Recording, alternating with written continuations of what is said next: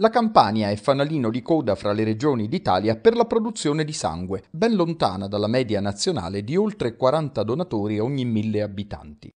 Per incentivare le donazioni, sabato 13 a Piazza dei Martiri sarà realizzata la seconda edizione di Osanghe Kite VIP, un'iniziativa di solidarietà che a partire dalle 10 del mattino accoglierà i cittadini invitandoli a donare il sangue.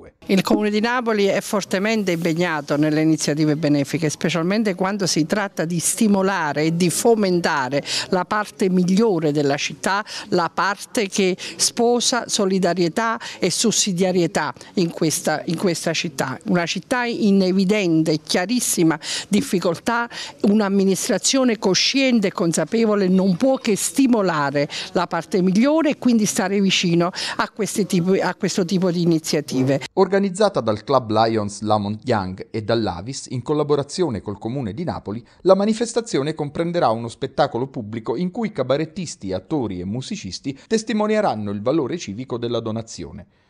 Fra gli artisti che hanno aderito al progetto, Patrizio Rispo, Rosaria De Cicco, Ciro Giustiniani, Simone Schettino, Maria Bolignano, Nando Variale e Marcello Colasurdo. Sabato 13 aprile dalle 11 alle 15 saremo in Piazza dei Martiri eh, per raccogliere il sangue insieme a un folto gruppo di VIP che ci daranno una mano. La chirurgia ha bisogno di adeguata disponibilità di sangue e in Campania il fabbisogno è superiore alla disponibilità effettiva. In Campania occorrerebbero, per soddisfare in parte le uh, esigenze trasfusionali, occorrerebbero 140.000 unità di sangue e invece se ne raccolgono appena 120.000. Consideriamo che eh, soltanto l'Avis purtroppo ne raccoglie soltanto eh, il 60% di questi 120.000, quindi siamo sempre alla ricerca di donatori. Ai lavoratori che donano il sangue la legge riconosce l'intera giornata di riposo. È importante questa iniziativa per eh, sensibilizzare la società, la gente a,